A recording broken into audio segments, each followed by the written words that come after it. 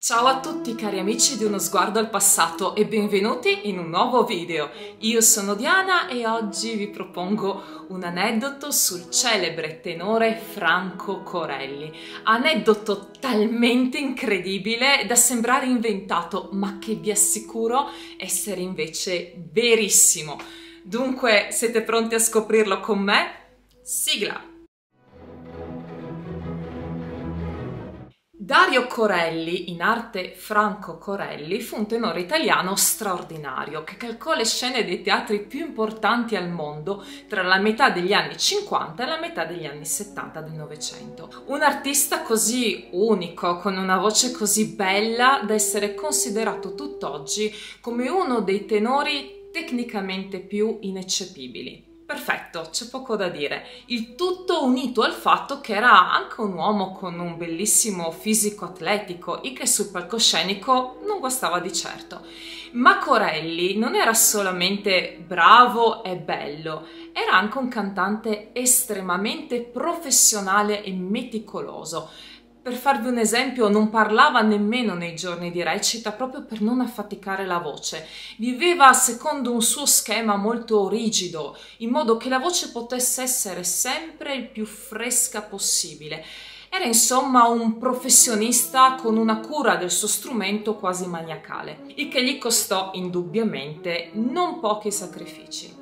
E tenendo conto dunque di questo rigorosissimo stile di vita di Corelli, dedito totalmente al canto, che arriviamo finalmente all'aneddoto.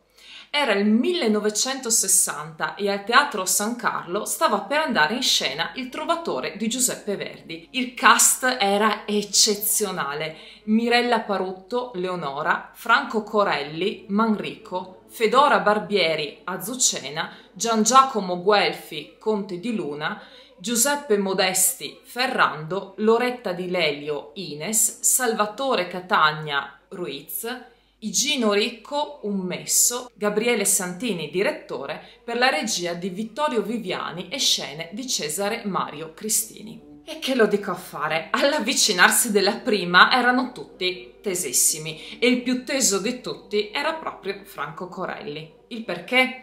Perché prima di lui al San Carlo di Napoli si erano esibiti proprio in quel ruolo il fior fiore dei tenori, parliamo infatti di Gino Penno, Giacomo Lauri Volpi e niente meno che Beniamino Gigli. Corelli dunque stava facendo una splendida carriera che nulla aveva ad invidiare con gli altri tenori appena citati, ma proprio per il desiderio di essere sempre perfetto, ineccepibile, insomma Corelli sentiva la pressione ed era attesissimo. A mettere ancora più agitazione al tutto c'era inoltre una certa predilezione del pubblico, del, proprio del Teatro San Carlo, verso il tenore Mario del Monaco. Dunque Corelli, che ovviamente odorava l'aria dell'involontaria competizione, si sentiva ulteriormente messo sotto pressione. Non sarebbe stato strano che dei fan del Monaco si stessero infatti già preparando, magari per contestarlo, per fischiarlo, in realtà senza nemmeno aver sentito cantare Corelli in quel ruolo. Così, insomma, un po' per partito preso. Arrivò il giorno della prima, il 13 febbraio 1960, e la recita iniziò. Alla tensione già esistente se ne aggiunse altra, poiché pare che il pubblico fosse un po' distratto, applaudiva un po' a caso, spesso non al momento giusto, il che portava altri ascoltatori a lamentarsi rumorosamente per le interruzioni fatte nel momento errato dell'opera. Dunque tutto un mormorio. E tutto questo non fece altro che togliere ovviamente concentrazione a tutti, soprattutto ai cantanti sul palcoscenico. Tuttavia il primo atto filo liscio. Al secondo si palesò un certo fervore nei confronti della Barbieri che cantava Zucena e al momento degli applausi, alla fine dell'atto, che all'epoca erano ovviamente collettivi, non individuali, qualcuno iniziò a gridare Barbieri, sola, sola! Ovviamente questo eh, non era previsto, non si faceva all'epoca e non era nemmeno molto gentile, insomma, nei confronti degli altri artisti che tra le altre cose erano davvero eccezionali, ma questa voce maschile, insomma, non si fermava, è rivolto a Corelli, ebbe il coraggio di fare dei gesti come a dire vattene via, tu che non c'entri, via, via. Corelli, che fino a poco prima era già rimasto turbato al sentire che si reclamava la collega da sola, quando capì che gli si stava indicando addirittura di uscire dal palco, ma in un modo che manco fosse un cane, sentì dentro di sé una rabbia fortissima. Lui fu un cantante sempre molto autocritico, forse persino troppo autocritico, ma era cosciente che quella sera stava cantando da Dio, cantava benissimo, divinamente. Dunque perché tanto accanimento proprio nei suoi confronti? Il sipario si chiuse, stava per iniziare la pausa, ma Corelli, invece di raggiungere il suo camerino, uscì dal lato palco proprio per dirigersi verso quel disgraziato che aveva urlato. L'aveva infatti perfettamente identificato in un palchetto proprio mentre questo qui stava urlando, sporgendosi. Ora immaginate la scena. Corelli con il costume rosso che sguainava la spada e furibondo si dirigeva nel corridoio dei palchi, dove intanto il pubblico cominciava ad uscire proprio da questi palchetti per la pausa. Il pubblico dunque in corridoio era sorpresissimo nel vederlo, insomma non è cosa usuale vedere un cantante vestito di scena camminare furibondo in mezzo al pubblico, oltretutto seguito da una frotta di coristi e tecnici che, capita la situazione, seguivano Corelli nel tentativo di fermarlo. Un giornalista che era presente alla recita descrisse Corelli con gli occhi che sputavano fuoco e che sembrava impersonificare l'ira di Dio. Insomma, tutti iniziarono a inseguirlo, ansiosi di capire che cosa sarebbe successo e come fare per fermarlo. Uomini in frac, ma anche coristi in costume da zingari e donne in abito da sera, tecnici, una frotta con a capo il sovrintendente di Costanzo, deciso a bloccare Corelli prima che potesse effettivamente compiere qualcosa di cui poi si sarebbe tremendamente pentito.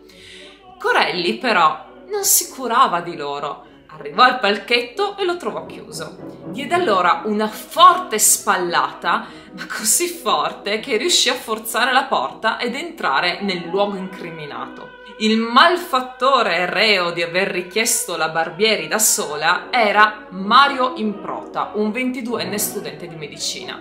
Questi sentì improvvisamente una mano sulla spalla, si voltò giusto in tempo per vedere Corelli che stava per prenderlo per il bavero ma il sovrintendente di Costanzo arrivò e bloccò immediatamente Corelli con l'ausilio di altro personale del teatro. E gridarono Corelli, Corelli per favore non farlo, andrà in prigione. Ma l'ira di Corelli era ancora al culmine, quindi realizzato che non sarebbe stato saggio continuare in quel momento in modo così veemente, gridò comunque infuriato d'improta, ti aspetto fuori, e se ne andò ritornò dietro le quinte, si diresse nel suo camerino e ci volle una buona mezz'ora affinché si calmasse. La recita riprese, ma il sovrintendente, spaventato dal fatto che la questione potesse degenerare ulteriormente, rimase dietro le quinte a sorvegliare un po' tutti, ma soprattutto Corelli. L'opera terminò e in prota si preparò ad uscire dal suo palchetto e quindi affrontare il tenore. I dirigenti del teatro cercavano intanto di calmare Corelli dicendogli che rischiava di essere denunciato per aggressione, insomma aveva sfondato la porta del palchetto, ed altri cercavano invece di calmare in prota nella speranza che dimenticasse la quasi aggressione di Corelli. Corelli, infatti, per quanto fosse stato provocato, era comunque palesemente in colpa, cioè aveva sfondato la porta di un palco privato e qualcuno riportò che avesse addirittura sguainato teatralmente la spada davanti a Improta, quasi una sfida a duello, insomma non era proprio un gesto da nulla, non era una cosa che si poteva dimenticare così. Tuttavia i dirigenti del teatro riuscirono fortunatamente nella loro impresa, calmarono i due sfidanti e riuscirono a riappacificarli, facendo soprattutto il tutto davanti ai giornalisti, proprio nel tentativo di non far esplodere eccessivamente la notizia. Fecero un paio di foto così assieme e la cosa parve concludersi lì ma logicamente un'aggressione alla prima del trovatore da parte del famosissimo Corelli non poteva passare inosservata.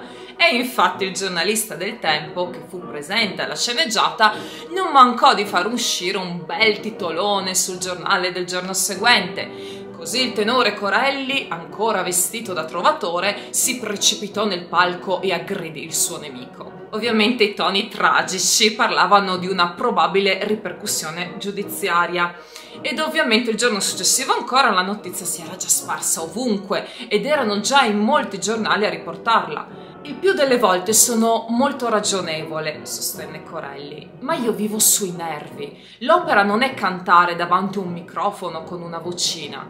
Quando sono nervoso devo spegnere quello che ho dentro nello stomaco. Quando sono con gli altri cerco di stare nei limiti della situazione, non importa come mi punisco quando sono solo. Ma se ci sono una o due parole in più, accendo un fiammifero a titolo illustrativo, l'ira si infiamma e può nascere facilmente una rissa perché gli artisti sono tutti persone nervose.